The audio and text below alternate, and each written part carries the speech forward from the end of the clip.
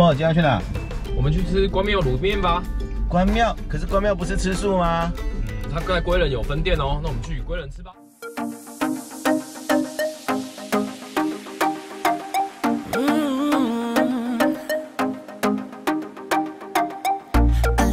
touching me, electricity, what you doing to me? I love the way you scream my name and your crazy games, girl, the way you tease me. Just one more time, I cannot fight this feeling. And put your lips to mine, all that I'd ever want. But I know you're not the kind of girl that I can really trust. No, cause you do whatever you want. Baby, what about it? I walk away.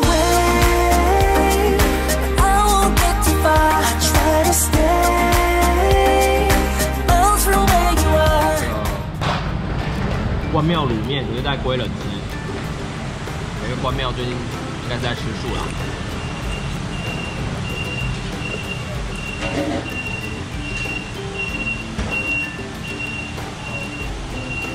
关庙面比较有咬劲，所以配那个羹汤啊，那个羹汤的味道会马上就进到那个你的口中，所以你第一口吃到是那个羹的那个微微的甜味。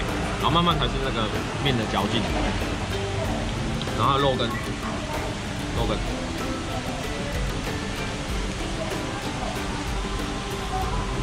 它肉根很细致的那一种，它不是像外面，就是你吃到会有一些瘦肉的口感，它就是应该是肥肉跟瘦肉打在一起，所以它的可能那个肉根的味道很口感啊，口感很细致，然后味道很足，这肉干好吃。最特别的是，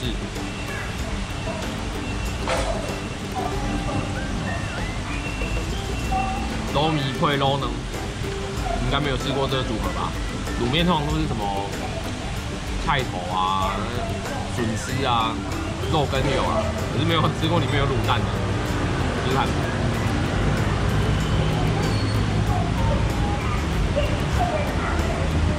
卤蛋超入味的。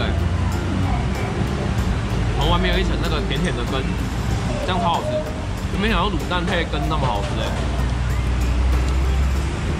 它叫做川仔，如果有机会真的来试试看哦。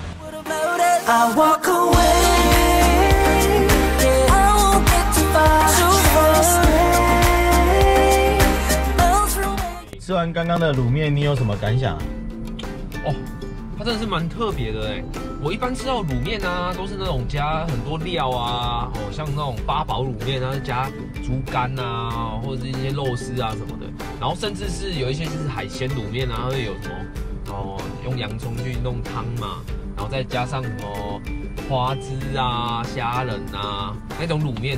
可是那种卤面，有的人很爱吃，可是有的人却喜欢像这种比较简单的味道，它就是只有肉羹，然后呢，蔬菜去熬的这个羹汤啊。它是吃在嘴巴有一个自然的甜味，真的是蛮好吃的哎，而且它面好像有一点不一样哎。你知道那是什么面吗？嗯，在关庙，难道是关庙面吗？没有错哈，一般来讲都是用什么面，你知道吗？油面吧，一般都是用油面。可是这里这个区，你只要在关庙归人吃到的，几乎都是用所谓的关庙面。你知道为什么吗？不知道哎，不知道哈。油面通常来讲，你看到是不是都是黄黄的？嗯，你知道为什么它会变黄吗？面呢，为了让它提高 Q 度，有很多的做法。而油面采用最简单的方式，就是直接加碱。像我们的粽子，不是有一种叫鸡掌，嗯，那种甜粽嘛，它就是把糯米去泡碱水嘛，它就会变成 QQ 的口感。那油面也是一样，它去把它泡所谓的碱在里面，那它就变黄色。可是它这样就有 Q 劲。它的好处是店家在操作的时候比较方便。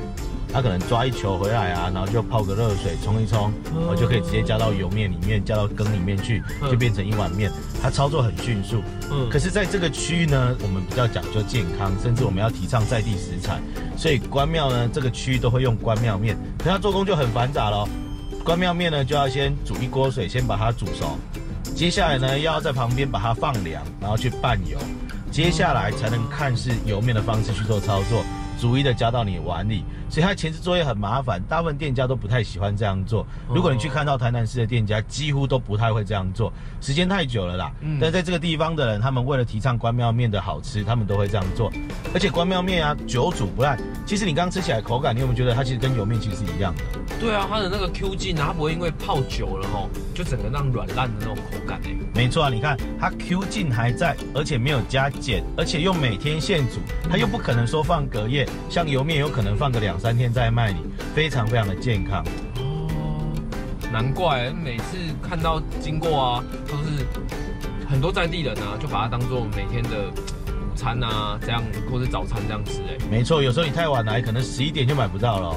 真的，如果你是喜欢吃这种单纯口感啊，就是肉羹啊，然后蔬菜羹汤这一种油面的这种卤面的话啦，你可以来试试看这间川仔，它在关庙有一间本店，然后归仁这边是它的分店，两间都叫川仔哦。如果喜欢吃这个口味的话，真的要来试试看。好啦，所以喜欢我们的影片，记得帮我们按赞、分享，还有订阅我们的 YouTube 频道。我们下部影片见。